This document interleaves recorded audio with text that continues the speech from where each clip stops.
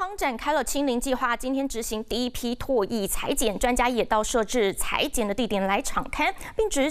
到这个华航来安排裁剪的细节，确保符合感控的要求。只是华航事件也让外界用放大镜来看航空业了。专家指出，这一次华航事件造成台湾疫情升温，得要最后一个本土病例确诊之后，再往后延长二十八天的观察期，确保都没有人在感染事件，才能算是落幕。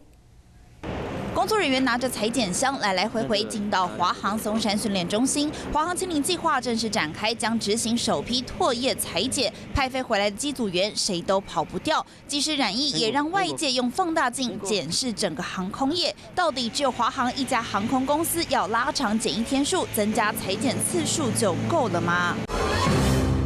其实我们现在最大部分的一个确诊病例都是来自境外的旅客，而不是机组人员，也不是医院的医护人员。境外的旅客虽然一直带带进来病毒的风险，但是我们目前的防疫政策都很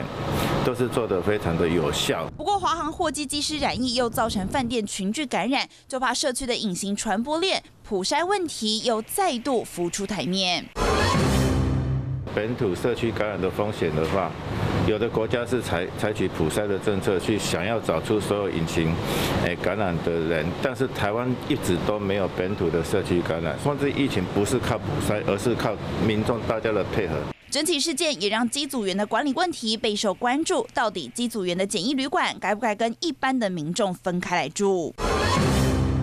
我们的卫生单位必须去集合，集合它有没有确实做到分仓分流，它的动线有没有重叠，要确保这个的话，就应该就可以了。只是台湾的疫情也因为华航事件升温，社区又进入了观察期，就怕再有未爆弹。医师也提醒，最后一个本土病例出来之后，必须往后延两个潜伏期，也就是二十八天都没有再传出确诊，才能够安心。在此之前，可千万别松懈。华新闻雷亚张荣福、李奇婷台北报道。